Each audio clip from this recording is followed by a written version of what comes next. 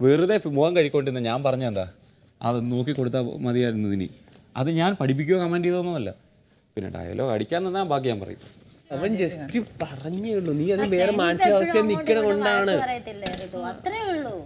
Friends ആവുമ്പോ just മാറിപ്പോയി. അറിയാണ്ട് പറ്റിയ ഒരു കാര്യം. അതിനിടയ്ക്ക് രമ്യ വന്നിട്ട് അവിടെ എന്റെ അടുത്ത് പറഞ്ഞു എന്റെ അടുത്ത് പറഞ്ഞു കഴിഞ്ഞാൽ അത് മറുപടി അനുവിനോട് കേൾക്കണം. സംസാരിക്കും. എന്റെ അടുത്ത് പറഞ്ഞ മറുപടി അവരുടെ കേൾക്കണം. പ്രശ്നം തീർക്കാൻ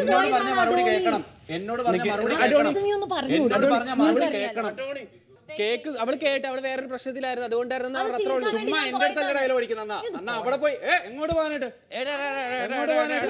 കാര്യം പറഞ്ഞാൽ എങ്ങോട്ട് പോകാനായിട്ട്? അറിയാൻ പാടില്ല. എങ്ങോട്ട് പോകാനായിട്ട്? ഏ?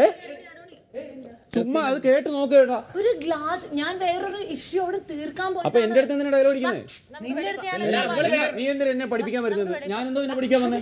നിനക്ക് നൂറ് പേരെടുത്ത് ഞാൻ എന്താ നിന്നെ പഠിപ്പിക്കാൻ വന്നേ?